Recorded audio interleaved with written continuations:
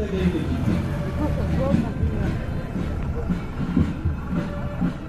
seconde, emmenée par le sergent-chef Karim Assaini, est composée de sapeurs-pompiers volontaires du groupement territorial numéro 4. Ils sont tous issus des formations initiales 2016.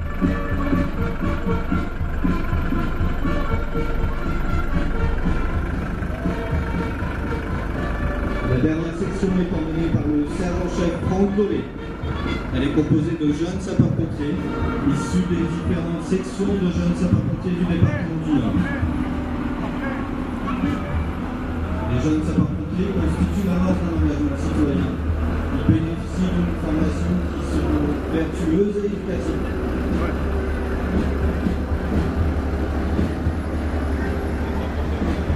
L'ensemble des troupes à pied suivi par un défilé motorisé composé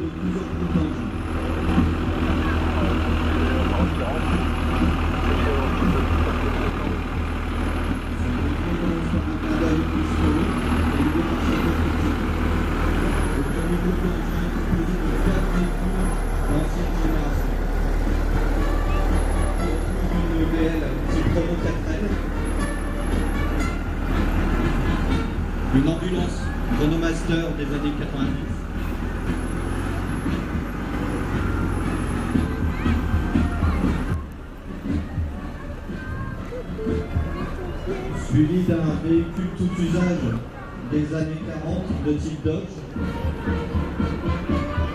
Il s'agit là d'une récupération militaire. Ça marche doucement, c'est bon.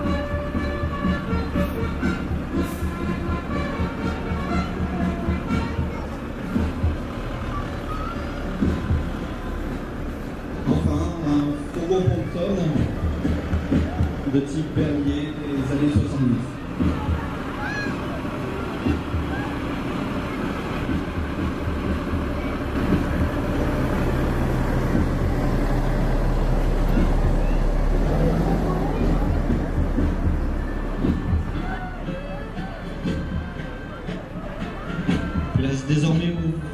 moderne.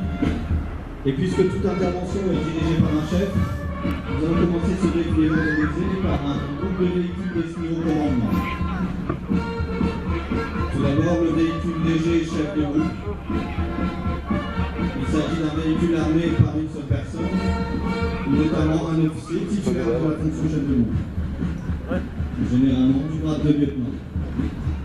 Cet officier assure le commandement des opérations de secours nécessitant 2 à 4 véhicules. Il est suivi du véhicule léger de commandement, armé de deux personnels, dont un spécialiste des systèmes d'information et de communication. Il est l'outil de commandement pour les chefs de colonne du grade de capitaine à commandant lors des opérations nécessitant plus de 4 véhicules. Suit le véhicule poste de commandement qui est armé au minimum de 5 personnels, dont 2 officiers. Il est l'outil du commandement des opérations de secours pour les interventions d'envergure. Il dispose de moyens radio et informatiques permettant la gestion de l'intervention nécessitant plus de 16 véhicules.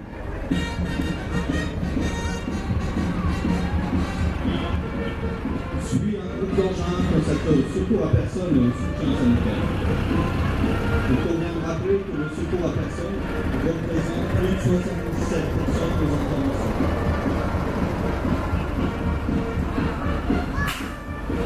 Le véhicule de secours et d'assistance aux victimes, armé par trois sapeurs-pompiers.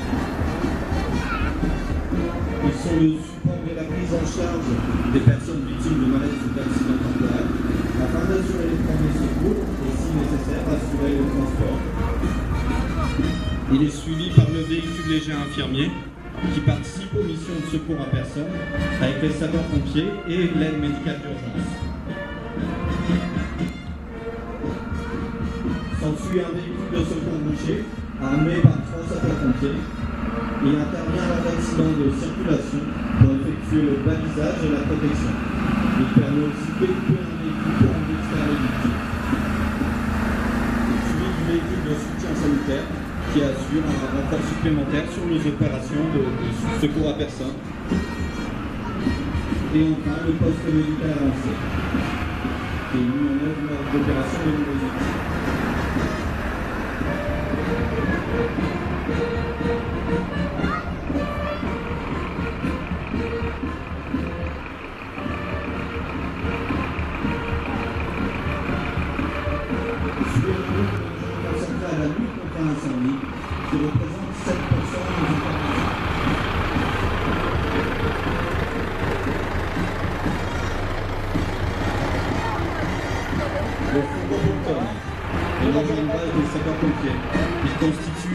Le couteau suisse euh, soldats du feu. La contenance de sa citerne est de 3000 litres d'eau, plus 200 litres d'émulseur. Il intervient facilement subissant des missions de sauvetage, de protection de personnes, des biens et de l'environnement. Il est suivi du camion citerne rural moyen. Ce type de véhicule est utilisé pour lutter contre les incendies de structures et certains feux d'espace naturel. Il d'ailleurs très apprécié déplacements et de sur de Chine. Le de 26 véhicules de type CCR. Suivi d'une échelle pivotante automatique combinée, qui fait partie des moyens aériens du SDI 59. Elle permet de s'élever une hauteur de 30 mètres. La plateforme peut accueillir deux personnes et peut servir à la lutte contre les incendies et notamment la mise en place d'une canon, également utilisée pour l'évacuation de victimes. Suit le camion d'Edouard en route et sa motopompe remarquable. Ce véhicule contient plus de 2 km de tuyaux. Il permet de soutenir l'attaque d'un grand feu à partir d'un point d'eau éloigné, avec la possibilité de se mettre en inspiration dans un milieu naturel ou artificiel. Ensuite,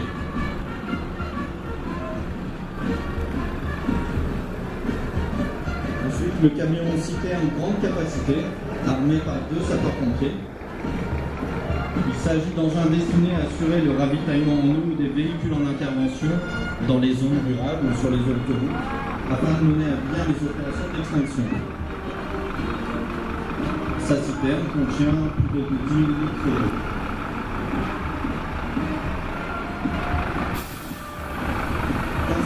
15% des interventions effectuées par le 59 relèvent d'interventions diverses, dans lesquelles on des spécialités.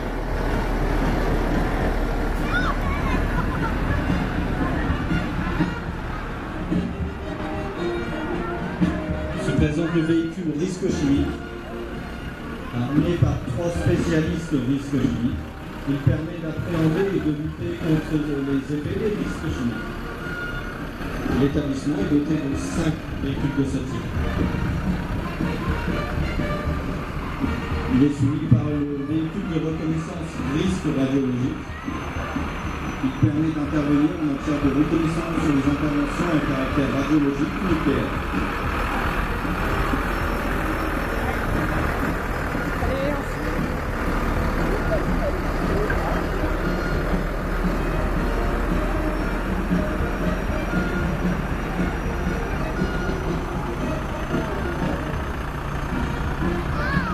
S'ensuit une unité mobile de décontamination, armée par deux sapeurs-pompiers.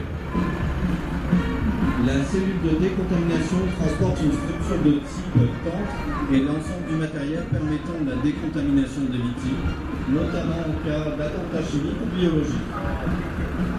Son fonctionnement nécessite au moins 18 heures. Celui du véhicule de liaison hors route qui nous permet d'effectuer des reconnaissances et de vectoriser des moyens humains ou matériels dans des endroits non carrossables.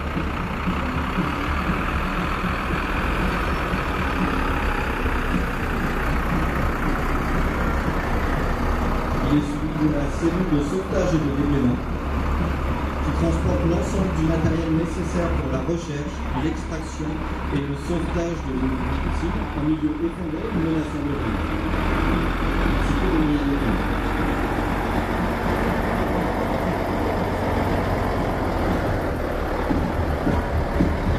De de reconnaissance et d'intervention en milieu périlleux. Il permet la reconnaissance et le sauvetage de personnes lorsque les moyens traditionnels des sapeurs-pompiers sont inadaptés ou insuffisants en raison de la hauteur, de la profondeur et du risque lié au cheminement.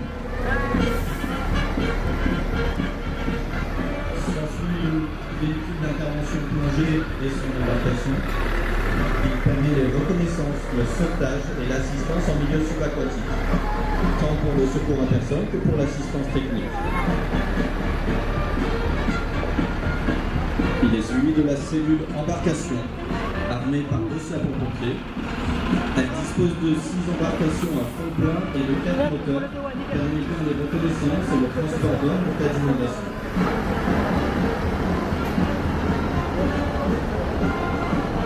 Enfin, la cellule épuisement. Elle dispose de pompes et matériel d'aspiration d'une capacité totale de 600 mètres cubes. Elle dispose également de matériel d'éclairage. Elle est mise en œuvre en cas d'inondation.